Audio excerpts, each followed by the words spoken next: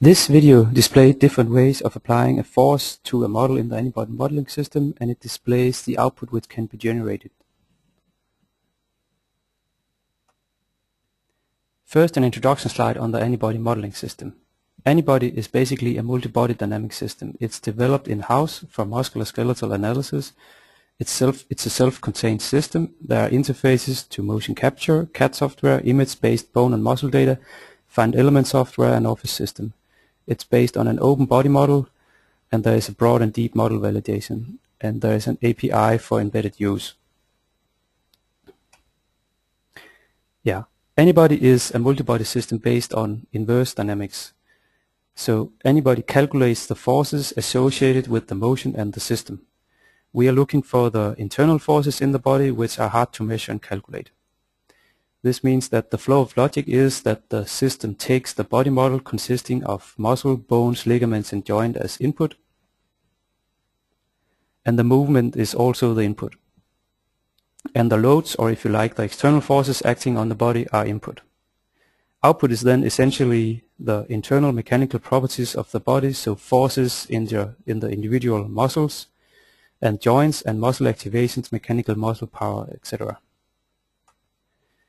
In this video we're going to focus on the different ways that the load can be applied to the model and, and the output that is generated in terms of forces.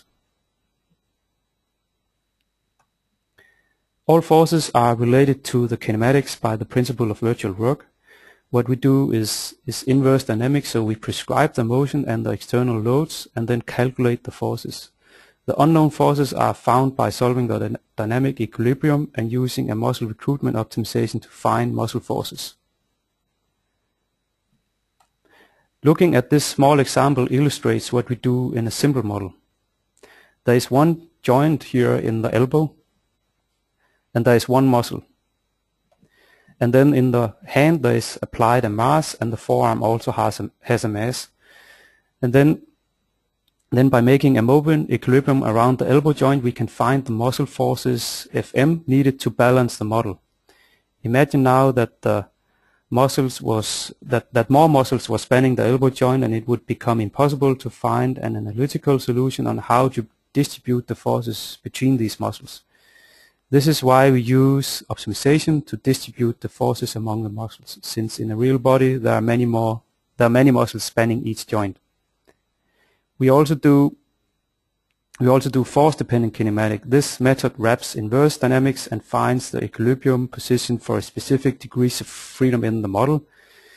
And this is useful to determine, to determine joint articulation, for example, in, in the knee. Now we'll go through the different types of forces we have and show some examples of each. We have inertia forces, environment forces, and internal body forces. Anybody is based on a general multi-body dynamics formalism, so it includes automatically internal inertia forces uh, and acceleration of masses and gravitational forces.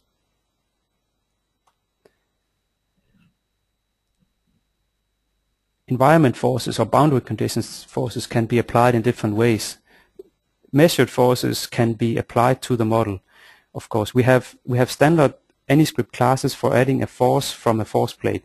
So typically these data are included in the C3D file and can be directly applied using a pre-made class template. So the only thing that needs to be done is to, to uh, import the class and point at the right data in the script it, that comes from then the C3D file. Um, like the video here uh, displayed is an example of this where the force is applied on the feet using data which has been imported through a C3D file. Uh, since the measured force will never balance exactly uh, the model, there is a hand of God applied in the pelvis. This accounts for the mismatch between the measured force, the motion and the model data.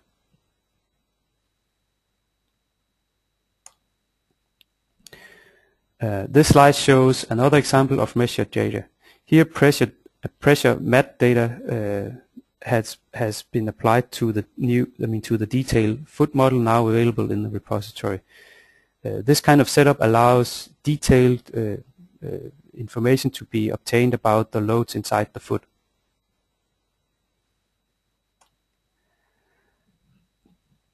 This slide displays an example on how to calculate the environment forces or the boundary conditions. So you do not need necessarily to measure the, the, the boundary condition forces with a force plate. You can let the system calculate these boundary condition forces act, that are acting between the human and the machine by itself. Uh, this example displays a leg press machine. In terms of forces, the input to the model is simply the mass of the uh, of, of the weights in this model of in this machine. Then contact conditions has been defined between the spine, pelvis, and feet, and the model calculates itself. The boundary force is needed to balance the model. So note here that the blue lines in the video which represent the calculated contact forces. It will calculate these forces as part of the muscle recruitment solving and it will automatically find the combination of support forces with, which, which will lower the muscle activations as much as possible but at the same time balance the model. So in this case prevent the weights from sliding downwards. Please note also that this setup, it handles closed kinematic loops and if for example one leg is weaker than the other one, it will automatically try to shift the load to the, to the other, other leg to equal out the muscle activations. Additionally, it also allows you to uh, prescribe friction. This type of model allows key design parameters of the machine to be changed or optimized in terms of the effect that this has on the body.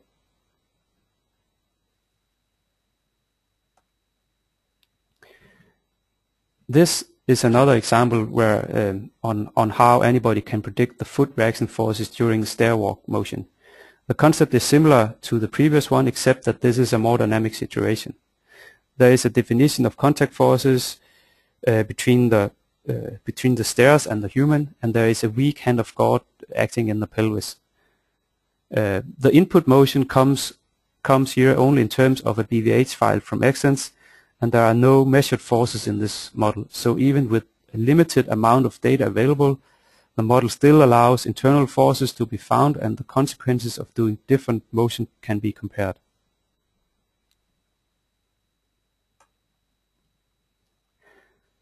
This slide relates to the internal forces. We can calculate, for example, the joint reaction forces uh, and, and the muscle forces. Notice here that how the muscles are changing colors depending on their activation. Basically, the system will give all the internal forces acting on in the body, including all joint reaction forces calculated as a function of both muscle contractions and the external loads. This video shows an elastic band exercise. Notice here the black line uh, displayed in the glenohumeral joint. This vector represents the, uh, the size and direction of the reaction force in the glenohumeral joint. Uh, notice here how this joint reaction force is not much related to the direction of the band, but rather, uh, I mean, primarily, the direction is primarily muscle induced.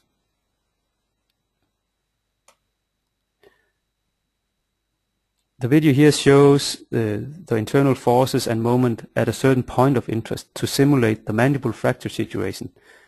So it allows you to obtain physiological loads acting in the fracture plane. The, tr the transparent plane represent the fracture plane. The light blue vector represent the force acting in the fracture and the purple vector represent the moment in the fracture. So this is an example of, of how the internal forces can be calculated and displayed inside the modeling system to provide valuable information on the forces in a fracture plane.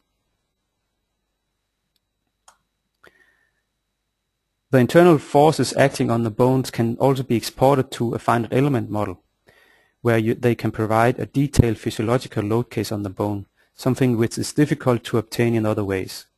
We have converters available which allow load cases to be directly transferred to Abaqus through our Anybody to Abaqus converter and to ANSYS through the Anybody to APDL converter and also to other formats through a generic XML format. So to summarize, with the Anybody modeling system, you can apply forces in multiple ways, from having it all measured to have no measurements.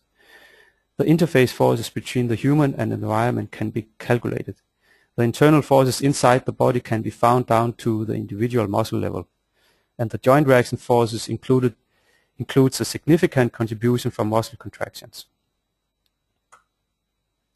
There are additional resources available. We have a website There is a publication list on the website with a list of publications where, which has where any where the Anybody modeling system has been used. On YouTube there is a, a list of webcast and demonstration videos available and on the forum and they, we also have a forum and a wiki and inside the Anybody modeling system there is a full uh, list of tutorials available that will take you through almost all aspects of the modeling system. Thank you.